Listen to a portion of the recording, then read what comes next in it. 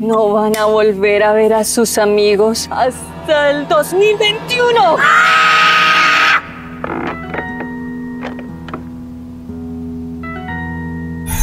Hijita, tu fiesta de cumpleaños tuvimos que cancelarla.